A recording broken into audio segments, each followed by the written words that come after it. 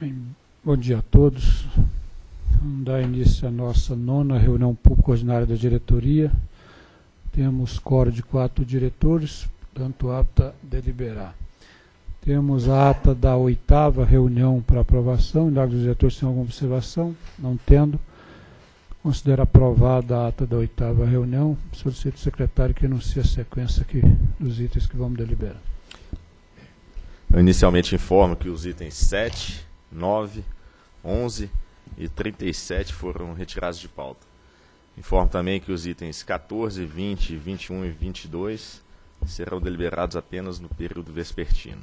A nova ordem, que foi aprovada pelo diretor-geral, são dos itens de 1 a 6 e, na sequência, os itens 10, 19, 24, 25, 26, 28, 35 e 36.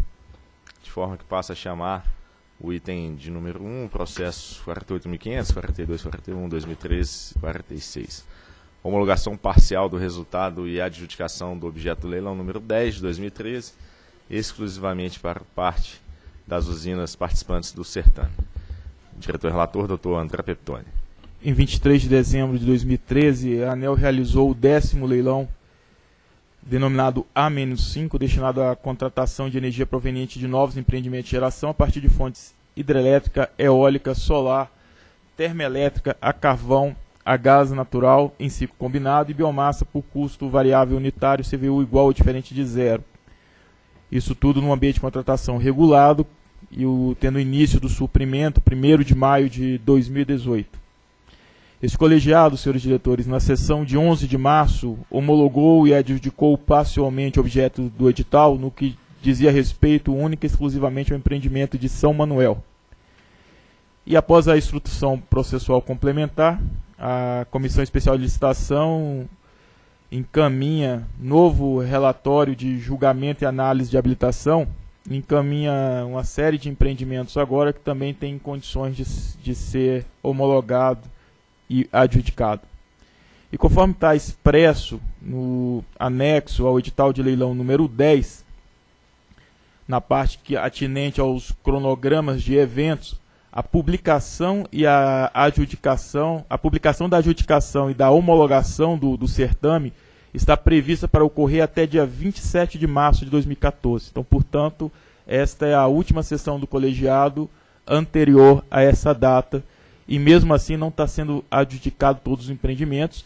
Isso porque a, a, a comissão de licitação está fazendo diligências e a, a pendências de documentação dos empreendedores que venceram o certame. Então, todos aqueles que estão a do, com a documentação ok, nós estamos aprovando hoje, aderente ao que está no edital. É o relatório. Procuradoria. Trata-se de homologação e adjudicação parcial do resultado do leilão a menos 5 de, de 2013, já nessa linha de e fazendo homologações parciais à medida que a documentação vai ficando já robusta e pronta para adjudicação, para tornar mais célere o, o processo de homologação.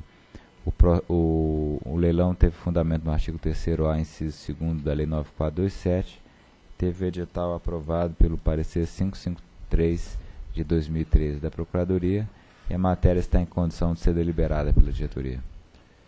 Trata-se da homologação e da adjudicação parcial do leilão número 10 2013 aos vencedores do certame no que diz respeito ao, ao próprio leilão.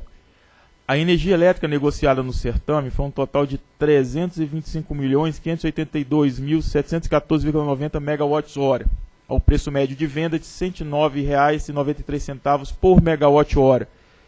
Comercializaram energia, senhores diretores, 119 empreendimentos, dos quais uma usina hidrelétrica, 16 PCHs, e aqui eu chamo a atenção, as PCHs voltam a participar do ambiente de contratação regulado por meio de leilão, 5 usinas termoelétricas e 97 centrais eólicas, resultando numa capacidade instalada de 3.507,35 megawatts.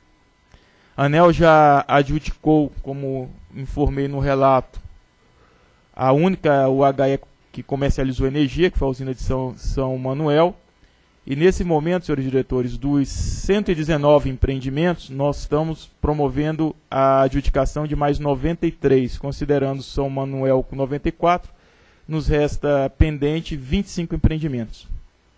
Ressalta-se que as licitantes listadas no anexo deste voto, em face ao não cumprimento de diligências estabelecidas pela ANEL, ainda não estão aptas à homologação e à adjudicação e a energia elétrica negociada por elas no certame, ou seja, aquele universo correspondente às 25 usinas que não estão sendo adjudicadas, corresponde a 13,94% do total negociado no leilão. Então, praticamente 14% não está sendo adjudicado, entretanto, os 86% já estamos, estão de acordo, São Manuel já foi, agora o restante de acordo com o que prevê o cronograma de atividades anexo ao edital do leilão. Nos relatórios de habilitação anteriores, publicados no sítio da ANEL, constam os quadros com as vendedoras que negociaram energia no, no, leilão e o rateio dessa energia entre as 35 concessionárias de distribuição que absolveram a energia do leilão. E o quadro 1 e o quadro 2, senhores diretores, relacionam as vencedoras habilitadas no leilão, conforme o relatório julgamento e análise da habilitação elaborado pela Comissão de Licitação da ANEL. E aqui eu trago é, na, na, tabela 1 a relação dos, das vendedoras habilitadas no leilão e na tabela 2 na tabela 2 84 e 86 também a relação de vendedoras habilitados. A questão é que a análise da documentação no segundo quadro foi feita em 17 de março e no primeiro quadro em 14 de março. E a comissão de licitação, auxiliada pela CCE, avaliou a documentação de habilitação conforme as exigências contidas na seção 11 do edital de leilão número 10 de 2013 e entendeu que todas estão aderentes às regras do, do certame. Nesse sentido, a partir de tais argumentos e do que consta do processo 48.500.00.4241.2013-46, voto pela aprovação do despacho anexo com o objetivo de homologar e adjudicar parcialmente o objeto leilão número 10 2013, denominado leilão A-5, às empresas especificadas. Eu peço que mostre aí também o anexo 1 a este voto, que coloque a imagem Nesse anexo 1, senhores diretores, então está a relação dos empreendimentos que não estão sendo objeto de, de adjudicação por problemas na, na, da, na documentação de habilitação. É o voto. Em discussão.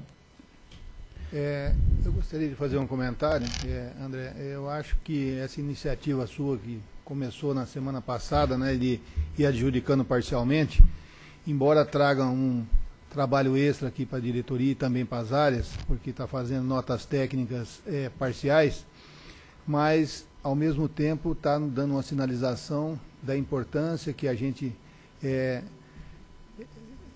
dá a, esses, a esse leilão, ou a todos os leilões, especialmente a esse, porque é, as empresas que fizeram o seu, seu papel a tempo e a hora estão sendo é, contempladas já com, com toda a análise e adjudicação.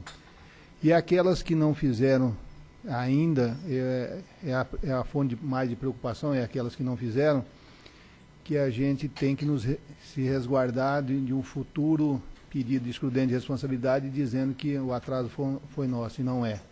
Então, estou preocupado porque é em torno de quase 14% da energia comercializada, é muita coisa, né? Que ainda temos, temos que fazer um trabalho grande, um esforço para que a gente possa trazer aí no mais breve prazo possível para homologar.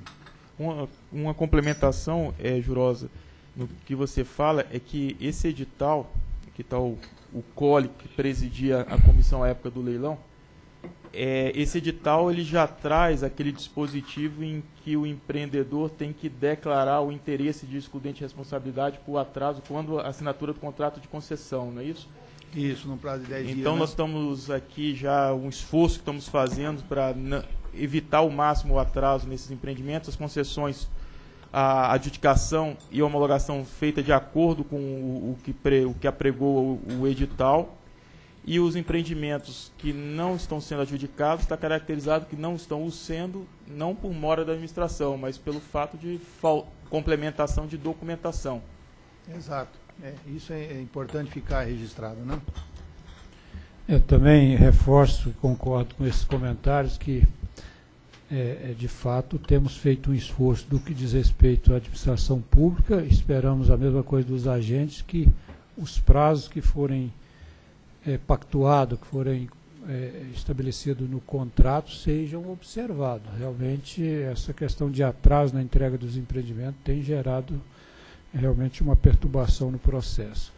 E no caso aqui, também é, elogio a iniciativa de fazer essa homologação, adjudicação em etapas, né, na medida que for ficando pronto, e aqueles que remanescem, no caso aqui em torno de 14%, que bem dito pelo relator, se deve à falta de, das informações, do, atendimento né, por parte dos empreendedores das informações necessárias à habilitação, evidente, mesmo que tenha aquela característica do edital, nesse caso, como não deu causa à administração, eles não têm direito àquela, é, àquele, vamos dizer assim, aquela prerrogativa de eventualmente ajustar o prazo de entrega quando dá outorga. Né?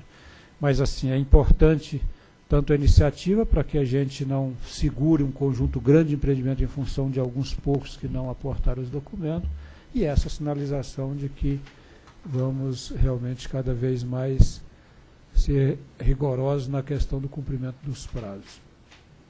É só, só uma observação, e eu estou olhando o quadro aqui, dos 25, 26 que faltam, 18 é, empreendimentos é do mesmo, é do mesmo agente.